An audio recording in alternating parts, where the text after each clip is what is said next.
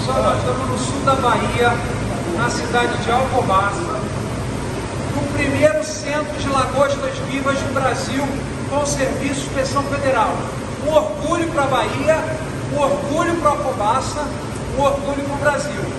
As lagostas chegam vivas através dos barcos da região, que as capturam e em seguida vem para cá, para um centro de depuração, uma seleção de espécies por tamanho, 72 horas de descanso para ficarem calminhas, serem colocadas nas embalagens e serem exportadas.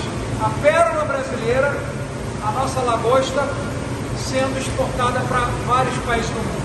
Doutor Eduardo, doutor Tony, toda a equipe da Prime, vocês orgulham o Brasil. Meus parabéns. Obrigado, secretário. Um abraço grande aí. Selva.